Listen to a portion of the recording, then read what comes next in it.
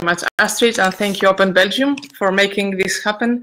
Digital technologies is here, but also cultural heritage and uh, data, which is uh, the topic of our talk today, open cultural data in, uh, in citizen science.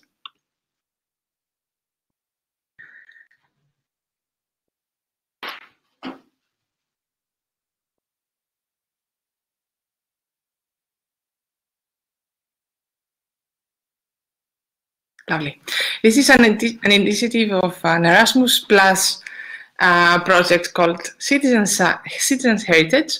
It is about citizen science practices in cultural heritage uh, with the perspective of being sustainable in higher education. This is a consortium of European partners. We started last September, and we are um, uh, a very uh, enthusiastic uh, group of uh, partners, and also we we are very open to to, uh, to, to other stakeholders. That's why we organize also this event today. Our project is is a compilation or a match of four dimensions that we think that in the past haven't been treated as a in a homogeneous uh, way, in a joint uh, way. These are citizen science, openness, higher education, and cultural heritage. But all together, of course, every item has been important per se, but now we try to see them as, as a nexus. Um, just one slide about the project. It, it uh, targets several results. Uh, two of them will be showcased today. The first result is a review of practices at universities in the way that universities engage in citizen-enhanced open science in the area of cultural heritage. And the second result, it is a methodology uh, about user requirements and guidelines on how cultural heritage institutions and universities can work together towards citizen science and, um, and open data so these are um, two of the results that will be showcased in our project and will be also treated in our uh, presentation today. The first uh, result will be dealt with uh, by, by, Mariana and the second by, by Fred Truyen, who is also the coordinator of the project. Uh, because we're open and uh, we, we, we want to learn and listen others. We have uh, invited um, Susanna from Finland to talk about another dimension of tackling this four-dimensional scheme. So Susanna is, is with us, and also we have a moderator, she will come just a bit later, uh, who is uh, Susanna Hazan from Israel. Before I leave you, uh, I give the floor to, to Mariana for the first uh, talk of this uh, workshop. Let me give a, a, definition and a great definition of how we see citizen science in this uh, project. Of course, you know that public participation in science is something that um, has been uh, here for for for, um, for for decades, uh, even for centuries. So it is very common that citizens engage in science in many, many forms. This has started in the 19th century, actually. But what, what we want to emphasize here is how this engagement and enthusiasm and collaboration between citizens and, and researchers can lead and, and can enhance the open science objective, and how open data can be reused and to strengthen uh, scientific um, endeavors. I would like also to share um, my, my, preferred slide. It comes from uh, from uh, an Horizon project, uh, DITOS, where it it it very nicely uh, shows the the combination between open science and citizen science. So we see citizen science as a component of open open science in a way that citizens not only uh, work hand in hand with uh, researchers, but also other teams of researchers or other teams of citizens elsewhere benefit from this interaction and this collaboration. So thank you for listening. I, I hand over to Mariana. Mariana, are you ready? Thank you, Katerina. Uh, yes, and um, thank you for hosting this uh, roundtable, everyone, at Open Belgium and Astrid. So um, I'm happy to be together uh, in this roundtable with uh, Susanna and uh, Fred and Susan, who will shortly arrive. So um, let's see how I can share my screen now and do the presentation. So. Um,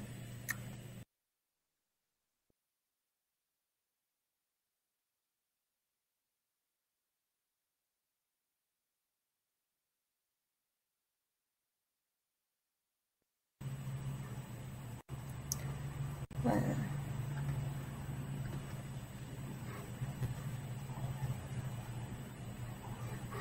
Excellent, Mariana. I'm sorry. Okay, apparently. Um,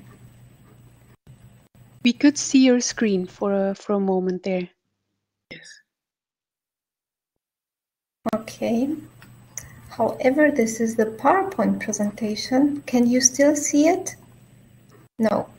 I don't see your screen anymore. It was open before, but I, I it said it ended. So I think you have to uh, open it again. Okay. So Yes. let's open it and try it this way, maybe. Yeah, it's working. Great. So um, I will be discussing uh, citizen science in the cultural heritage field as part of the study conducted within the Citizen Heritage Project by highlighting a collection of practices uh, with uh, Belgian uh, partnerships. In particular, within the project study, uh, the term uh, that is being used is citizen enhanced open science, which basically stands for citizen science seen from an openness lens. So, citizen science, as a term again, is scholarly research done with public participation. We have been analyzing the openness uh, dimension and provide an indicator, an indicative nine factor stack against which we are reviewing a selection of citizen science cases. So, what is the scope of the citizen heritage study? It is to connect the fields of citizen science, cultural heritage, and higher education, examining research questions as how universities can act as citizen science incubators, how to connect civic engagement uh, with open science, and how to move towards active public engagement models in scholarly research. Uh, the study collected citizen science use cases through a desktop research that um, uh, was conducted by the project partners and a public survey during January and February of 2021. Approximately 110 cases have been selected against a set of four criteria. Uh, we filtered down this pool to 25 practices, good practices that managed to meet most of the uh, four criteria. These were then tested against of uh, a six typology, and today's presentation contains a selection of all of these practices that involve uh, Belgian partners. So today we focus on the openness scope, which is one of the typology items of the study. This maps openness into nine categories, which uh, we were formed, uh, which were formed by examining the outcomes and the research design of the citizen science cases, together with uh, good practices uh, in open science. Uh, this includes generally open access, uh, open data and open metadata. And of course, this separation is meaningful in sharing data within citizen science projects and uh, in the cultural heritage sector. We will discuss about this uh, separation shortly. And um, there is an indicative selection of eight cases related to cultural heritage and citizen science in Belgium or within Belgian partnerships that are part of the citizen heritage study. So some of these projects use the term citizen science, whereas others use a more descriptive uh, sense of uh, these terms or may use uh, other kind of uh, similar uh, terms as crowdsourcing or public research participation. Uh, so the REACH project initiative one is one of the early examples following a collaborative approach and creating participatory experiments Europeana migration is a series of uh, migration story sharing with the public. And um, initiative three is Kaleidoscope, which is about a historical um, review of the 50s in Europe and connects uh, to the Europeana collections. The Europeana is uh, the the um, uh, will be presented shortly, actually, uh, the Europeana projects uh, by Dr. Truyen in the next presentation, who was part in the development uh, of these projects together with the Photo Consortium Association. Pagode explores uh, Chinese cultural heritage within Europe by applying uh, novel participatory practices. And Europeana XX are civil science or crowdsourcing campaigns for enriching Europeana, which is the aggregator of European cultural heritage content or meta aggregator. And the Crowd Heritage is a platform for doing crowdsourcing campaigns in order to enrich in order to enrich metadata of cultural content that can then be connected to uh, Europeana. And finally, uh, there is Spotteron, which is a platform and uh, a, a, software framework for developing citizen science applications. It is not open source as far as I know. However, it allows for open participation and uh, one of the projects is Art Spots that lets people document street art. And finally, the project uh, uh, Witnesses, uh, it's better not pronounce the, the Belgian word, uh, which is, um, it, it, has initiated an extended public transcription of uh, historical resources about depositions within Belgian courts in the 18th and 19th century. So the methodology follows the three models, a classification type of civic engagement uh, that is presented by Bonney et al. It's uh, a widely cited categorization within citizen science. So contributory concerns to um, less interactions, whereas co-creative uh, is on the other side with more interaction uh, to it, to citizen uh, science projects. And as we see, most of the um, projects are contributory in their civic engagement type and few are collaborative co-creative. This applies also to the rest of the 120 cases.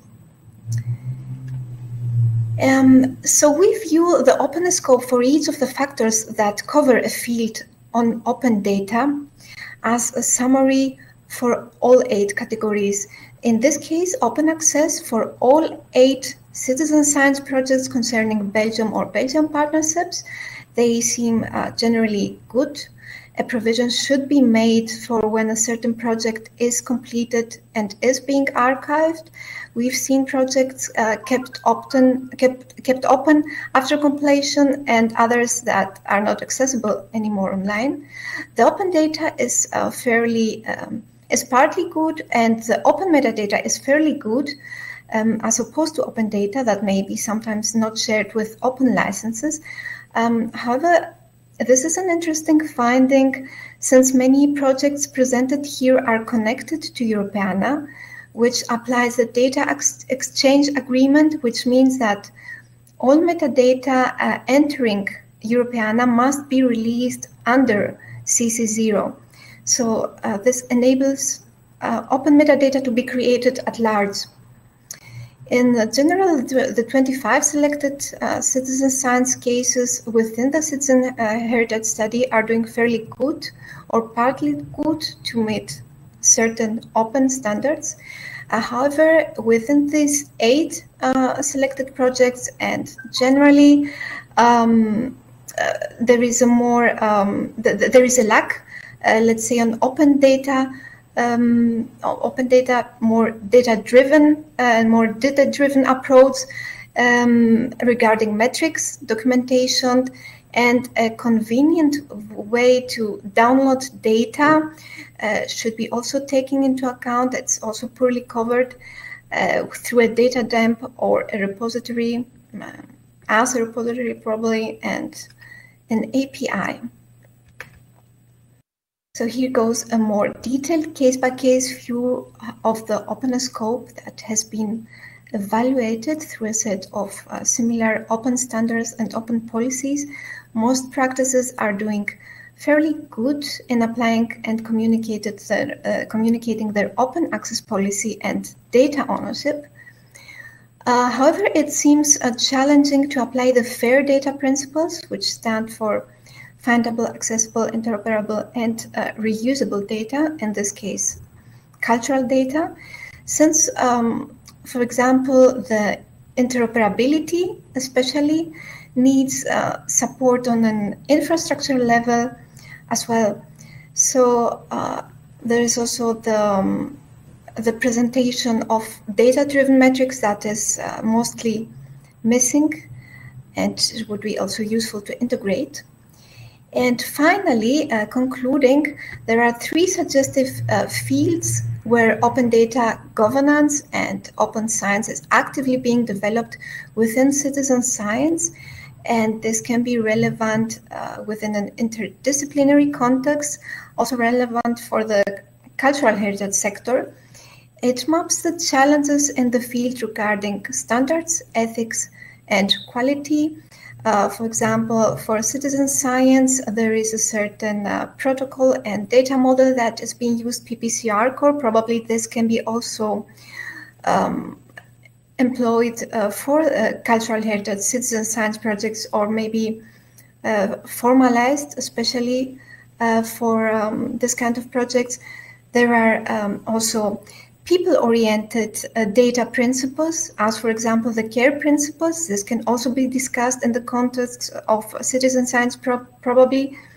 The CARE principle stands for um, collective benefit for authority to control, responsibility and ethics. It is uh, primarily designed for indigenous people, but it can also be about uh, local communities, about contemporary communities that follow traditional knowledge for so this can be also um, principles that can be uh, see, view within the citizen science projects, especially the ones that deal with indigenous populations.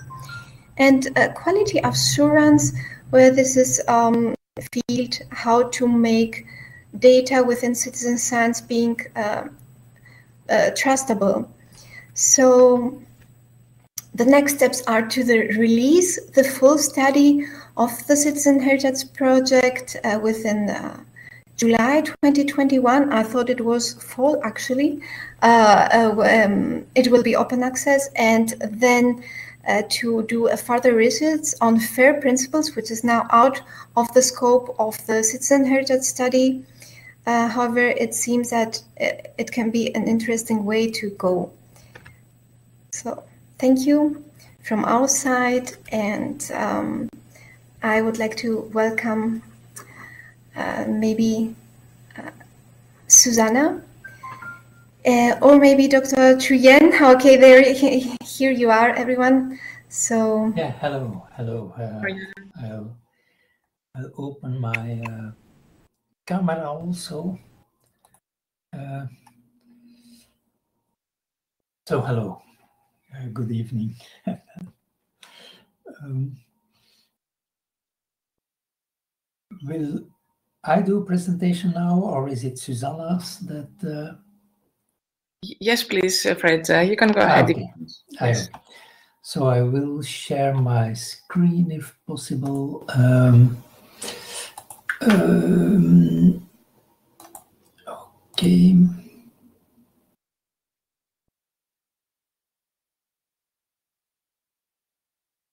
I hope it works. Yeah. Okay, um, so I'll present. Yeah. Uh, I will uh, I will now uh, maximize my screen, but I will come back to my uh, non-presentation mode uh, because I need I need to show some websites also, and then uh, so I'll I'll quickly go to to that. Now, what I we wanted to present, so Sophie and I, but Sophie unfortunately had an issue in the beginning of the week and couldn't join us today, um, but all is well. Now, um, we wanted to show some examples in the first place on what is actually going on and what the steps could be to uh, move towards citizen science. Um, uh, because there is already a lot going on in the heritage sector of including citizens and engaging uh, users and, and, and, citizens to uh, review collections, to annotate collections, to crowdsource uh, objects, uh, etc. Uh, but many of these activities fall a bit short of being really citizen science. And so what we aim to do in the project Citizen Heritage is to come up with um, a kind of um, handy guidelines that would help you to make this extra step hmm? and, uh, and, and certainly to advocate that it doesn't require that much. Of course, science always involves a lot of effort, but uh, a lot of effort is already going on in, in engaging the audiences and we only have to be smart about how we do this. And so, um, what what we will publish yeah, are two things. Uh, first of all, uh, guidelines that translate the work that Katerina and uh, uh just uh, and, and Tim just um, presented, and um, and translates it into um, handy guidelines that you can use when you prepare an action, a research-based action. And um, we will um, uh, focus on four steps. Uh, the preparation, because we think a lot of the difference between uh, generic crowdsourcing activities or user participation activities in CHIs uh, need extra steps in the preparation phase to uh, become eligible to really uh, generate citizen science. And then we will have a look at, at what should be done during the research. And then, of course, uh, the goal, eh, because science is still about uh, communicating with the right scientific uh, uh, audience uh, through publications, through academic publications, and to communications in, in conferences, etc. So uh, there, there, need to be um, a careful consideration on how the citizen engagement translates into what is published in the publications. And then a step that is mostly forgotten, and that is in fact, in many cases, even in the best uh, practice examples, is completely forgotten, is how do you close the circle with the citizens that actually participate? How will they uh, know how the scientific discourse is continuing? And it is for that kind of things that we uh, want to set up these guidelines. Now, for in the preparation of the research action, uh, I think it is uh, of utmost importance that you have a reflection on the role of participants because what we see in, in crowdsourcing and, and user engagement in heritage uh, uh, in the heritage sector, and we did uh, a large study now with within Europeana also in the Europeana Common Culture Project, where uh, my colleague Rob Davies made a, a, substantial report on the use of crowdsourcing in the, the Europeana environment. And we see that there are different roles in which citizens are involved. Sometimes they are really the object of study. So you seek participation to study the people in question. And um, that could be uh, in the context of intangible heritage, of uh, oral history, etc. And of course, this, uh, this entails another relationship with these participants. Eh? It would be a little bit wrong to uh, to uh, mistake uh, participants that you observe with kind of objects in your lab. So there are there are some some ethical and and and, uh, and uh, aspects and aspects also of respect to to uh, participants that are actually uh, part of, of being observed. And so that is a, a, totally different role than when you uh, use the crowd to lower a bit your workload, which is often what is done. For example, uh, we ask for annotations and we ask for citizen contributions in these annotations. Then people spend a bit of their time to help you out. Hmm? Well, again, this is another role. Hmm? And, uh, and so we will describe um, uh, a number of uh, persona, hmm, typical roles of participation. And for each of these roles, we will see what the consequences are for a correct scientific approach. Um, and then, of course, but I think you are all aware of this, for, for any research that involves participation, you need to demonstrate uh, just as when you do quantitative research and you do a survey among people, hmm, you need to demonstrate that your sample is representative. Hmm. And we see that in crowdsourcing actions, this is often overlooked and that people are just happy with the contributions and are not really monitoring um, if um, the contributions come from a, a representatively diverse audience. Uh, and uh, and this leads to a bias and and specifically I'll come back to that in in the in the projects that we did ourselves uh, how this can be an issue um, and then of course what uh, uh, what uh, Katerina and, and Mariana have, have, have gathered is um, how are participants informed? And so uh, in our guidelines, we will indeed try to indicate what kind of information should participants find on your website about your scientific project. And uh, it is our conviction that this needs standardization. And uh, we hope in the, in the process of the Citizen Heritage Project to come up with standardization proposals hmm, so that when you do a project that involves citizens and, and citizen participation, there is a, a, kind of standard way to inform them about what their role is, what they can expect, what will be done with their inputs, uh, in what way uh, they are part of the obs observed or part of the observance. Hmm? Uh, these are all things that need some more clarification. Hmm?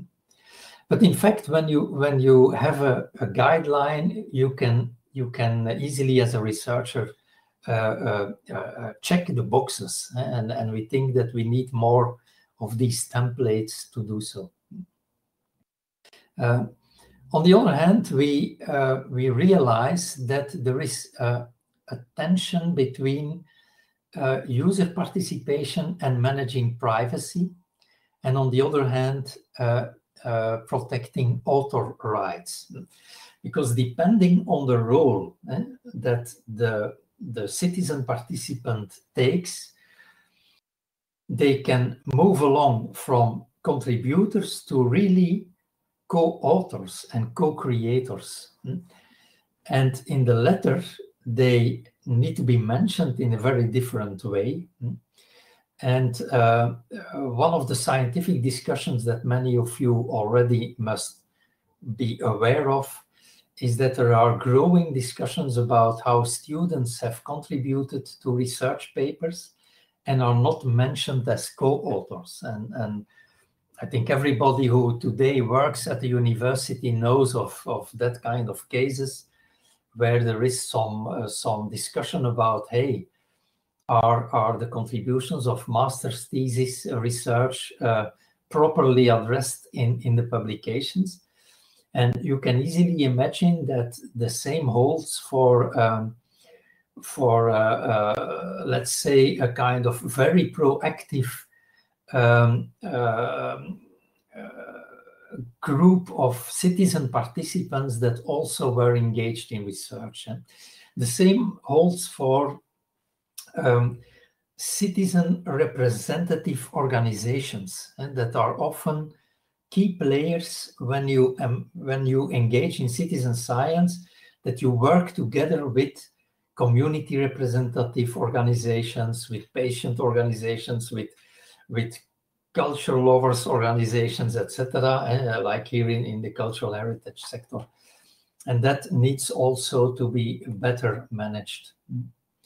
Uh, and so the same kind of questions will come back uh, while running your research action and a research action in cultural heritage can be a workshop in which citizens uh, participate. It can be a, kind of annotations campaign. It can be a translation uh, campaign or or, or a transcribathon or uh, there are so many uh, many good examples of of of very efficient ways to get uh, citizen contributions. Uh, but then again, what we will be looking at in this project is how can you make sure that during these activities you are conform uh, uh, research standards. Uh, so that you, for example, make sure that the, the contributions are identifiable and traceable. Uh, that is that is certainly one of the requirements uh, that uh, that the research setup can be copied and can be uh,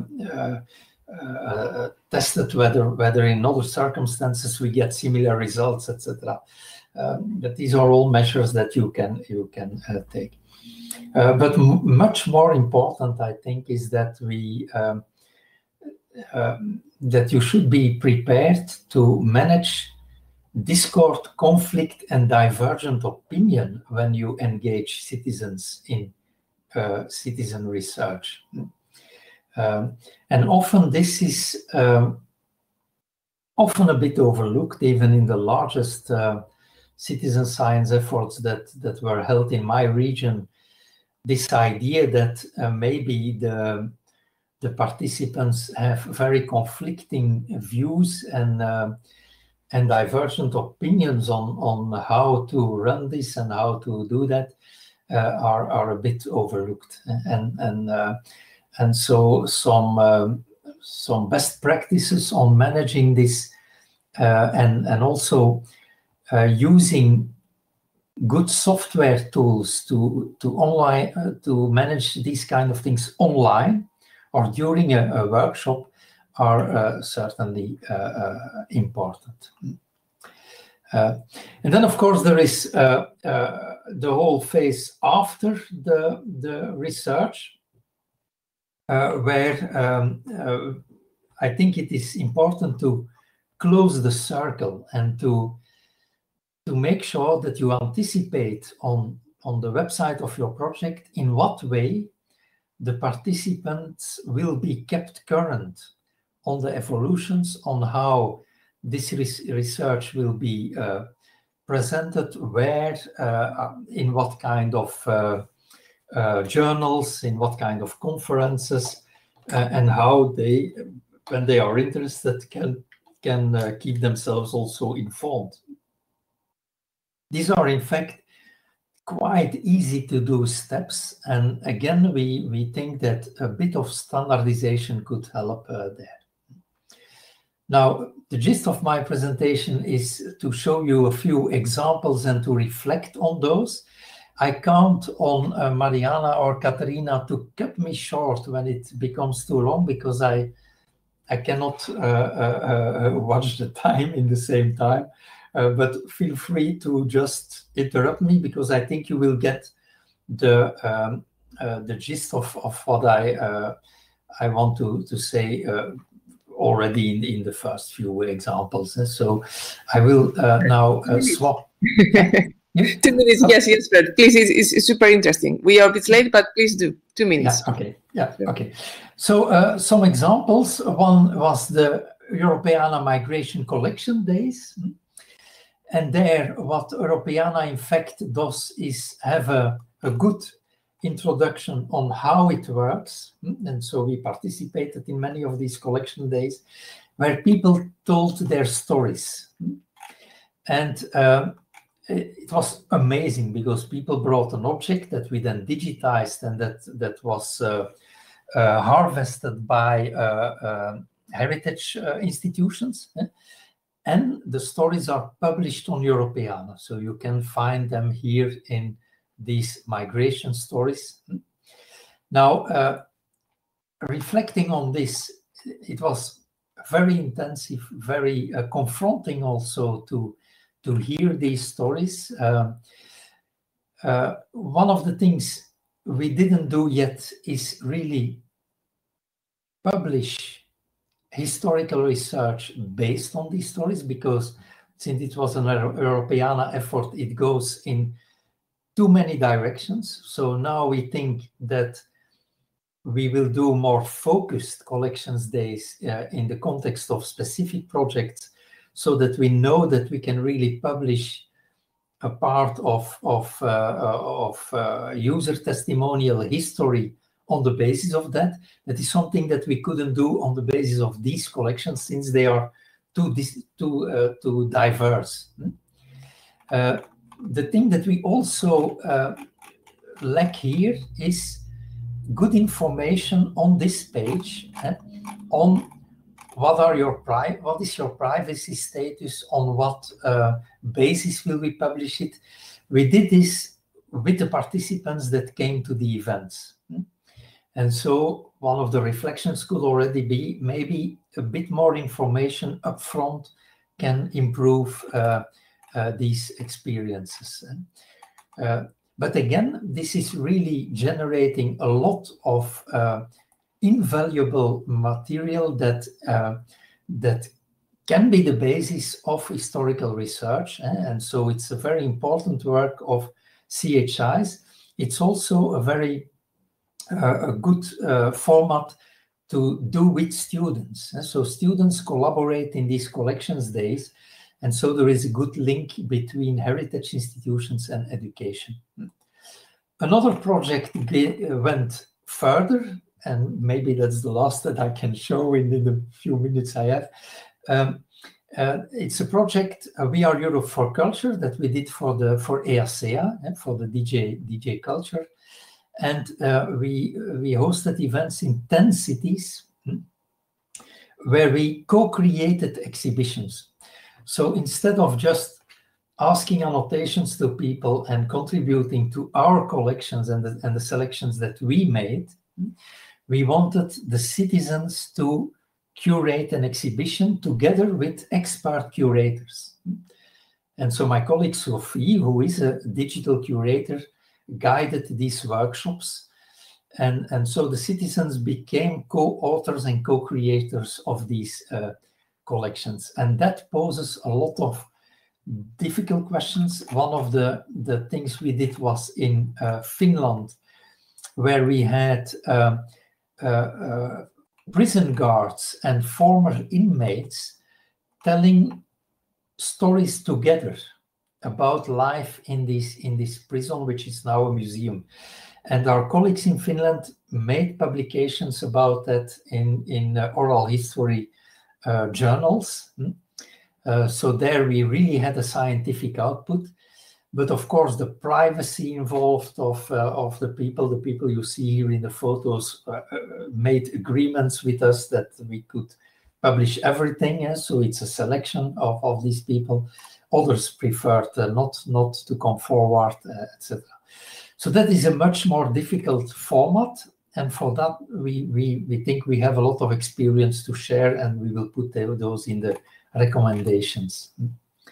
Um, and then, uh, if I have still a, a few uh, minutes, um, we step closer to what we will be using in, uh, in uh, citizen heritage, which are the projects that we ran on the WIT platform developed by NTUA, by our colleagues of NTUA, and the Crowd Heritage platform that you see here. And Crowd Heritage is really a tool to uh, gather uh, annotations by uh, the public. Hmm? Uh, and here uh, it, it is a very successful platform, but it stops short, of course, of being able afterwards to really uh, identify the profile of the participants. So, and if we would like to have the profile, we would come into uh, more difficult waters about privacy conditions, etc. So this is certainly something that we will be talking about within our current project and on how can we do this next step. Um, we chose also to link it with open link, linked open data thesauri so that people cannot just freely annotate but have to choose. They have to choose between a terminology that is uh, part of uh, uh, a thesaurus. And of course, on this choice element, we also need more study to see how we can um, uh, better um, describe how we selected these thesauri, what the user experience is about these thesauri, and whether the participants feel that they can really express what they want. Eh? So, on the other hand, if they just freely express it, you get fuzzy data that you cannot really use in the heritage sector. So, there are some some cross, uh, some uh, tra trade-offs that you have to make. And it is really, I think, in the trade-offs that we will see the emergence of really citizen science, and eh, where really the citizen can know that they contributed knowingly and consciously to uh, to getting uh, um, uh, information uh, validated. And, and so we need to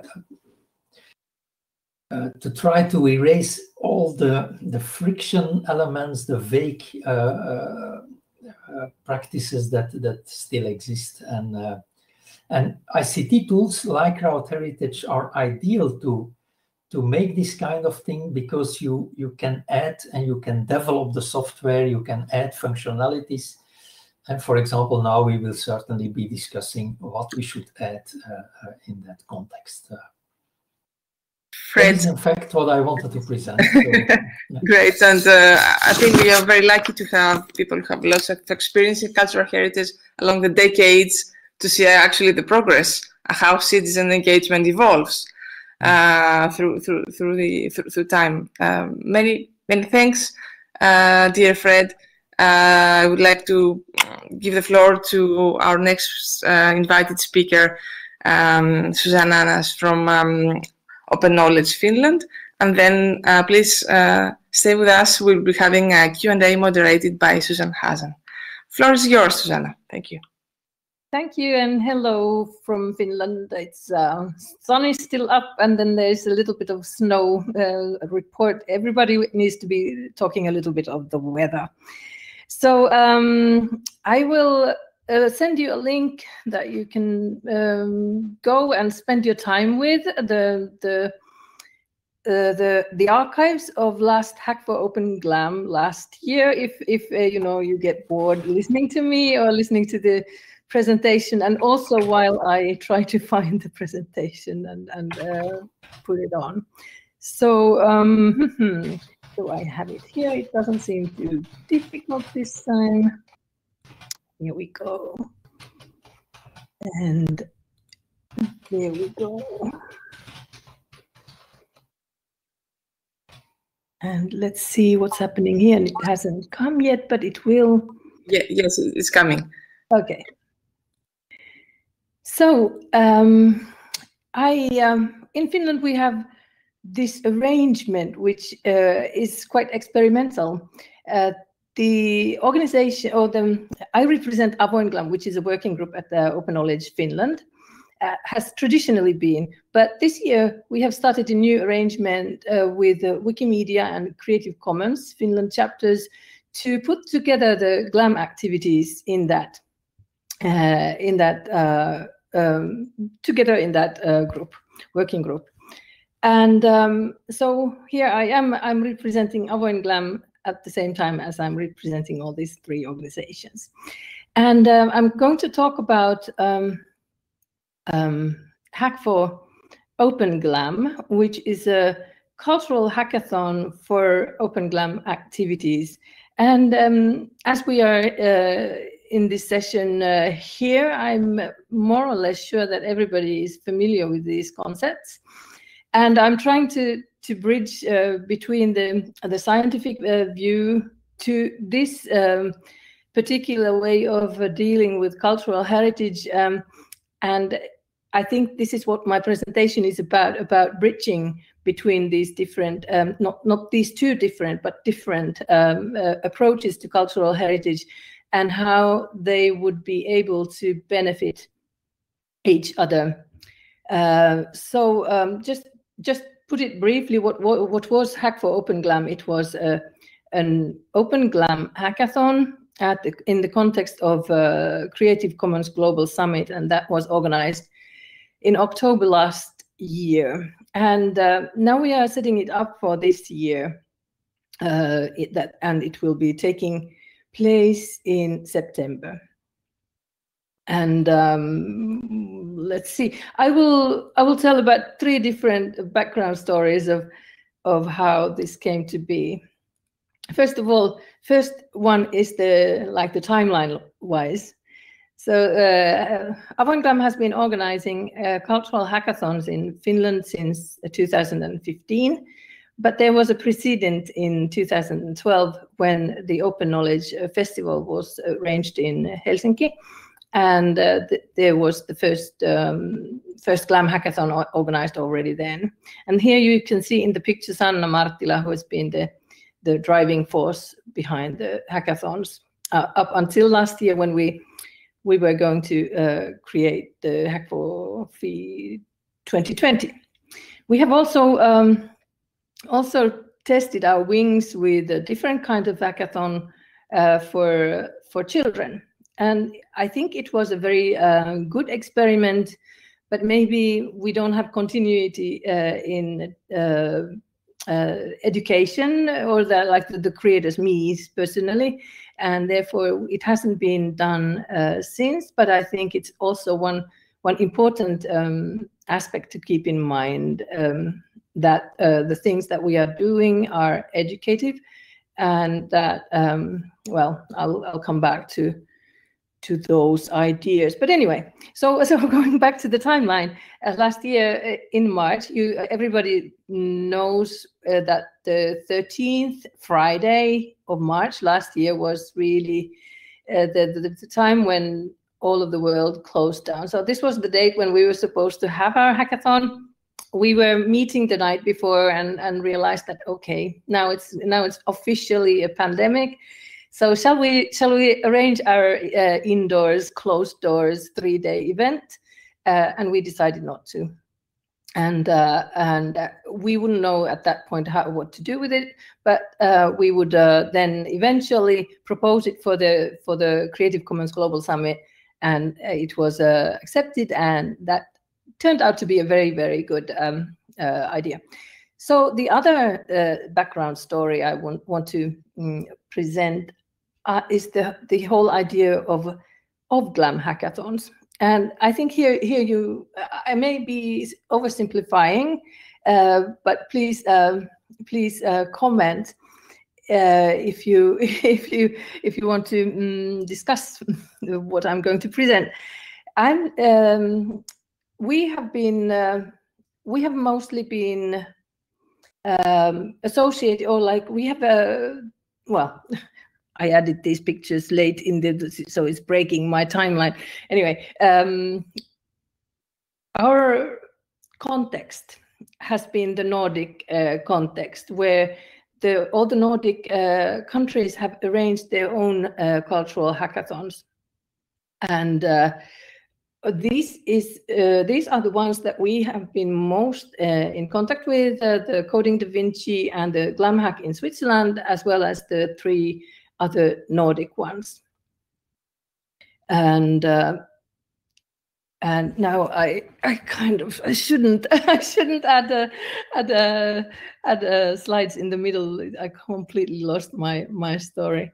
Anyway, well about the oversimplification. Somehow I um the the basic or the let's say the original the traditional uh, idea of glam hackathons is maybe based on a, recipro a reciprocal re relation between advocates of open access to cultural heritage and the GLAM institutions themselves.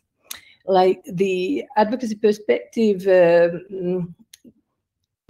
wishes, or like we promote uh, open access in order to to have those uh, cultural heritage assets uh, locked in institutions to be widely used for, to create new cultural um, activities. And uh, the institutions uh, in, in turn wish to maybe benefit from this uh, this uh, effort of opening and and and meet these um, creators who can prov provide uh, ideas for apps and services. So as I said, this is probably an oversimplification, but how um, this could probably be developing that uh, instead of um, mm, maybe have this uh, this do do bipolar uh, setup, there may be a more multifaceted interaction between different act, uh, actors.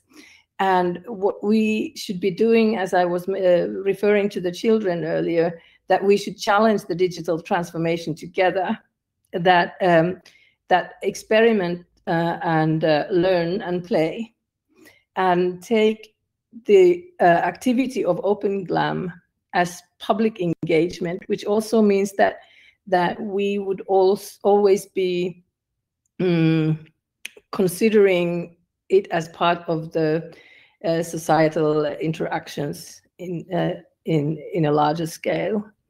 Um, take into more perspectives like the user's perspective, the citizen's perspective, a global perspective of the perspectives of different, uh, maybe underrepresented uh, communities, and focus on doing together network uh, among other events, uh, as I as I showed the, the, the Glam hackathons, but also actors in different uh, walks of life, and then develop a, what I see as a very very important thing is develop the digital skills of the citizens of all ages. And then the third background uh, story is um, I myself have worked with Wikimedia a lot, and uh, uh, I see that this um, working with these open platforms and maybe open methods and technologies is something that we could, um, let's say, explore together. And um, there are important um, uh, strong benefits in working with, let's say, Wikimedia and but but but uh, open platforms in general, that there are global GLAM communities around the world that have developed rich ways of capturing and revitalizing cultural heritage. Not only Wikimedia, but also Creative Commons, you know, open knowledge. Um, Mozilla uh, have uh, have uh, active uh, active um, active activities around around uh, working with uh, digital uh, cultural heritage. And then there's uh, the other side, the academic uh, academic digital humanities um, research, open science part, which could and should be linked with these um, practices of maybe um, more free form um, volunteer contributions. And then there are the, the GLAM institutions themselves, which uh, form another um, another set of uh, actors, and that that I can see that we should be um, creating more interaction between all these types of working, uh, and then uh, the citizens should be in, actively engaged in all all of this but they may there may be different configurations of how this happens but i think there should be um, um, uh, activities that are run from well that can um, mobilize the whole network of these different uh, actors also well from whichever side. That's what i would like to say. Yes and then that the platforms uh, are um, providing that, that, they are rather accessible, multilingual, uh, linked, and trustworthy, and that these should be able to be mobilized for different purposes. Right. So uh, here are I'm going to show some some things that we did in the last hackathon last year. The first one is coming up soon. No, this yeah.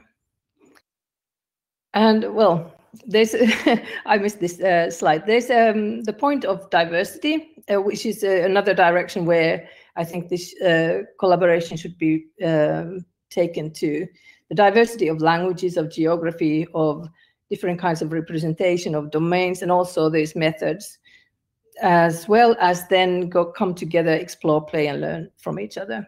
And this is what we did last year. Uh, there were workshops. We before the Creative Commons Summit days, the, the day before, there was a, an extensive 14-hour program of workshops and events uh, spanning the whole uh, global time zones. Uh, there were over 30 presenters in these workshops, and um, and uh, they would tackle very different things. This is the Europeana GIF IT UP workshop, and this is one of the one of the India winners whose um, whose work this is. And um, we also had a few panels, uh, a couple of uh, two different uh, discussion events, uh, and then the pitching session in this 14-hour program. This one was organized by the Poem uh, Research group at uh, the, the, Poem Fellows at uh, the Hamburg University, Angeliki Tzouganatou, and uh, Franziska Mucha and Quoc-Tan Tran. And the name of this one was the what is uh, GLAM Hackathon, which is the way we, we invited different uh, GLAM. Uh, oh, sorry, not this one. Oh, this one is accessing cultural heritage approaches from high to low. Um, and uh, the idea of this um, this specific uh, panel was to compare the different um, methods that different uh, GLAM organizations need to take or can are able to take, depending on what kind of uh, resources they have at hand.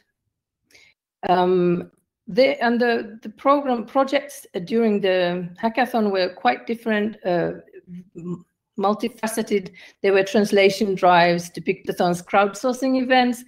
And uh, um, the idea is that they were not necessarily uh, all hack projects, but they were also do-a-thons, things that uh, events where users or other participants were invited to to contribute their time and effort to to do something. This one is from the Finnish uh, National um, uh, archives uh, project uh, the, where they were matching lists of missing soldiers to dog tags of fallen Finns in the Second World War. And actually, there was one uh, one uh, casualty, un one ident unidentified casualty was identified based on the work that was done over the hackathon. And also, um, also hack projects took place, things that were experiments uh, uh, or trying, testing different technologies, etc. So um, the, the key for next year's or this year's uh, event is to to promote knowledge equity and um, to, to, promote different languages, cultures, and mindfulness about uh, representing them on global platforms. And there's um, a survey I would like everyone who's interested to fill in because this is a way to to uh, enroll in um, in preparations and uh, as well as collect uh, experiences from the last one. And um, I went over time myself. I'm sorry. I um, I will stop now and give floor to questions. Super, Susanna. Can I ask uh, Susan to moderate uh, the discussion, please? L lots of food for thought. Susanna, thank you very much. Uh, hi, everybody. Um, I just put up my slides. Um, can I ask all our speakers to show themselves on the video? Please. And can I ask if you can see my um, PowerPoint or not? Yes, we can see your PowerPoint. Yes, loud and clear. Okay, I'll just leave up the screen just for a minute because I can't see you actually, which is very annoying. Um, and I just want to introduce myself. Uh, I, I, found this meeting absolutely fascinating. Uh, somebody got their, their microphone on for a second? Yeah. Um, feedback. Uh, I found the conversation fascinating. I'm actually very very active in the Europeana um, association network. I'm chairing. I'm currently chairing the network and working with Fred um, on different uh, activities there. Um, and I'm, I'm looking, you're talking about, I'm thinking to myself, my goodness, what have I done when I contributed um, my own objects into the Europeana um, collections on collection days? And I'm just thinking about the things you're saying, and I'm just beginning to wonder, what on earth did I do? I joined in um, as a dedicated citizen um, who wanted to contribute. I offered some objects from my personal collection. My mother, for example, in the migration days collection, I sat in and I described um, how she had migrated, what she took with her, what was important. And uh, this is actually her um, identity card that she was very proud to receive when she was first um, became an immigrant in Israel. On sports collection day or collection week, whatever it was, um, I sent an image of myself as the, as a hockey as a captain of the hockey team. I don't know why I did that. That was the only historical photo I had in my collect my own personal collection, and I thought it was a good idea. But listening to what you guys are saying, I'm beginning to wonder if I've offered up myself um, into this world of free data, free um, objects within Europeana what happens at this point once I've released myself, my collections, my objects? Who can do what they want with it? I mean, who is going to then take this up and uh, comment or interact with my personal collections, which I gave up freely, obviously. Um, I think actually uh, Fred made an interesting comment. Who's being observed and who are the observants? I think this conversation is not a new conversation. Clifford Geertz many years ago was talking about the interpretive turn um, the anthropological turn, And we are very clear now that we do not objectify people or objects. So this is my little contribution that I wanted to just add now. Um, do you have, do you have, someone, do you have a slide for the background now, or should I just take it out? You have a background slide? Um, no, Susan, we don't. Okay, so We'll put something else there. so I have actually I put it into the the, uh, set that slide of uh, as a background slide. It's actually in the slide deck in your uh, your, you can use that one if you wish. Okay, that's fine. Right. So that was just my two penneth worth because uh, I was very interested in, in, in, what happens to collections once they go online. Um, first of all, let me ask our audience if they would like to ask questions of the, the, speakers. So please put them in the chat and then I will ask the speakers um, on behalf of my of, of the audience. Before I start, I, I have a question to all of you. Um, and perhaps you can answer whoever feels that this is important to them. Uh, how does how do citizen science projects benefit cultural heritage institutions? And what do the institutions gain from these kinds of efforts? Is it in their interest? And the reason I ask this is, as I'm, I've, I've been a curator, a professional curator all my life, 37 years, and curators know it all. So what can the citizen, the private citizen, bring into a collection that the curator didn't already know? So how would you deal with this idea? What do cultural heritage institutions gain from this? Who would like to answer? Shall I? Shall I yeah. start? Maybe. Yeah. Um, yeah, I think that that uh, exactly the curator doesn't know it all. that is the the problem that uh, that uh, lived experiences and, and intangible heritage uh, are are things that uh, you need the original sources for, and the sources are in this case people, and and uh, that can give their testimonials and uh, uh, to to understand the correct context. And and we see indeed that. Uh, there are a lot of collections in cultural heritage institutions that are in need of better documentation, of better descriptions, and of, of better connecting to the, the, the experiences.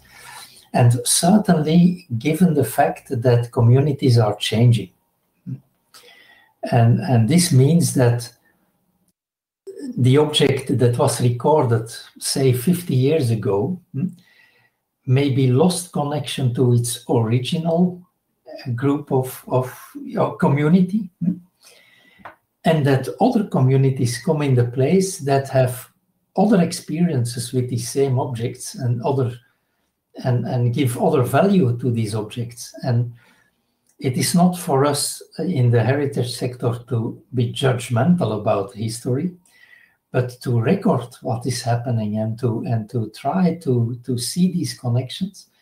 And that is where indeed this outreach to, to, to citizens and their contributions can work and and and we see that that a lot of stories that didn't make the history books are now really the stories that are adamantly shared and that are told and, and that are uh, surfacing.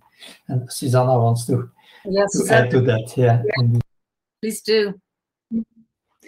I would like to maybe make a small point of um, of the citizens of the or the subjects of history being able to take over the the history writing rather than being objects of um, of uh, of the history writing. So so yeah changing turning the the perspective that would be important in uh, in these um, citizen engagement public engagement projects.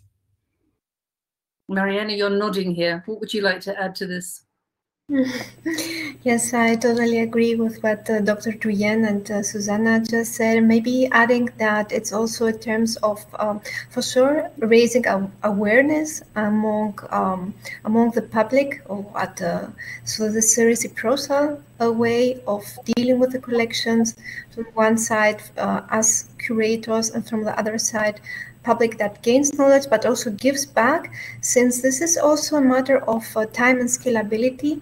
For example, a very large collection may be uh, may take a lot of time for curators to actually uh, document it and uh, do some metadata description, whereas with citizens within it, this can be done in a very in a very shorter time. Yes, but what about authority?